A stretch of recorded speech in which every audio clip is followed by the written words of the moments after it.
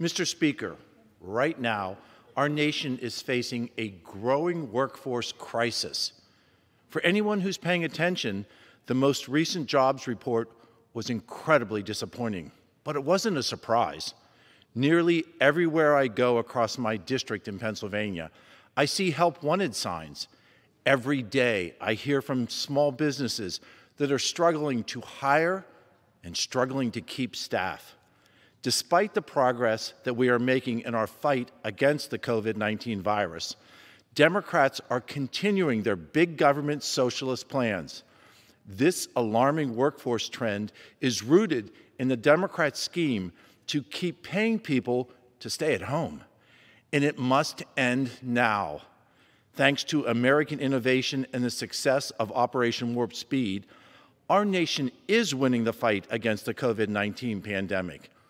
Safe vaccines are the key to restoring our personal liberties, eradicating this virus, getting our kids back to school full time, and yes, getting the American people back to work. Just like every previous challenge in our history, I know that our nation and the potential is there to recover from this pandemic and to recover stronger than ever before. This truly is the American way.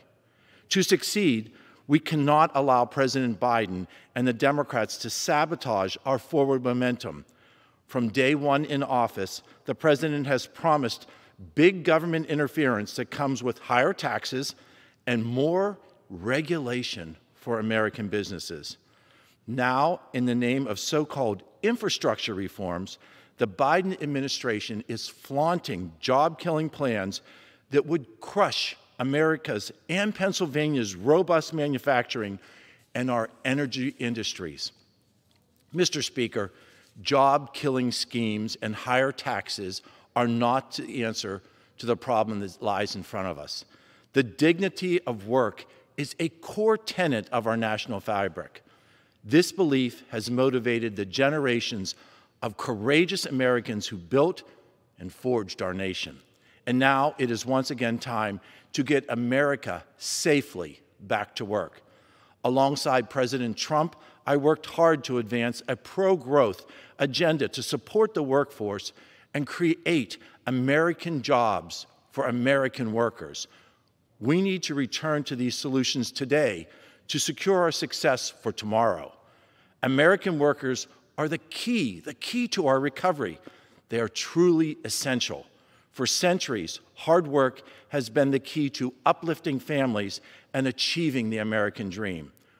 We cannot allow this long-standing tradition to be lost. For the sake of our workforce and for our communities, we must uphold the dignity of work. We must support the workforce, and we must get our nation back on the road to recovery. Thank you, and I yield.